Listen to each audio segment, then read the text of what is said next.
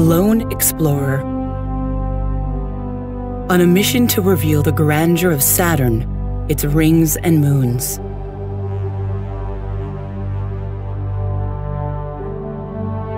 After 20 years in space, NASA's Cassini spacecraft is running out of fuel.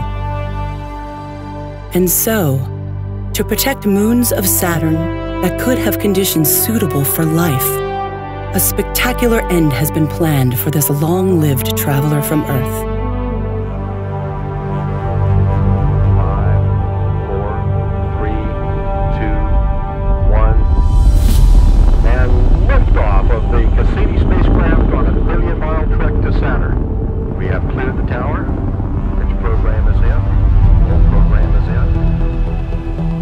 In 2004, following a seven year journey through the solar system, Cassini arrived at Saturn. To the SOI burn attitude or pointing position and light up the rockets.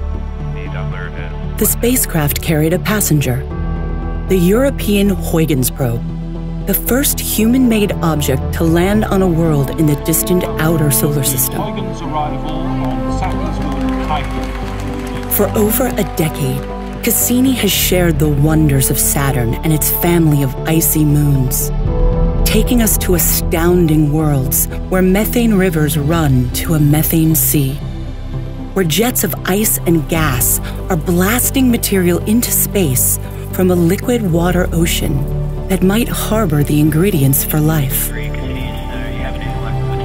And Saturn a giant world ruled by raging storms and delicate harmonies of gravity. Now, Cassini has one last daring assignment.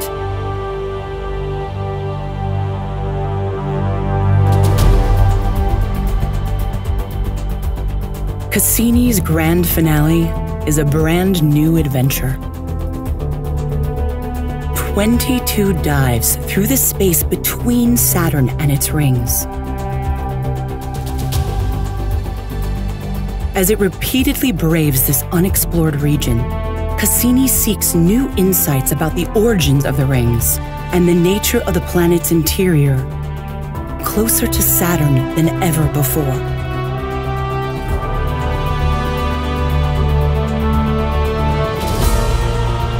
On the final orbit, Cassini will plunge into Saturn, fighting to keep its antenna pointed at Earth as it transmits its farewell.